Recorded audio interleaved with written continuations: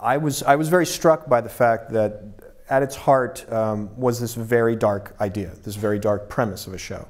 That in the opening moments, you know, an entire civilization is lost, that your heroes are essentially the, the survivors who run away into the night and that they are pursued relentlessly by their enemies and they just have this hope of finding a place called Earth.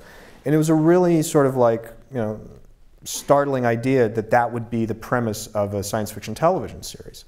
And when you watched that show a few, very few months after 9/11, you couldn't help but sort of draw the parallel and, and realize that if you made this show now, if you really presented this show truthfully and really sort of tried to take the premise seriously, people were going to bring to it their own experience. They were going to bring to the show their uh, experiences, their memories, their feelings of what they were going through as people in the moment. And I realized, well, that's an amazing thing. You know, that's a gift. That's that, that's a chance to do a, a show that means something and that has a certain amount of relevance to it.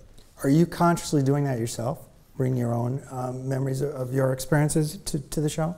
I think so. I mean, um, consciously and unconsciously, you know, uh, everything for sort of, you know, macro story levels of, you know, uh, how we deal with issues like liberty versus uh, security and, you know, and what it means to be in a society that, that suddenly is very afraid that they might be attacked again and how, they, how you balance that in terms of a democracy. And then on just sort of almost an unconscious level where there's just little touches, you know, grace notes within the show, things like, you know, the memorial wall where people put up pictures of all the family members that they've lost. And that's something I just kind of wrote and realized that was really lifting it, you know, directly from things that you had, you had seen.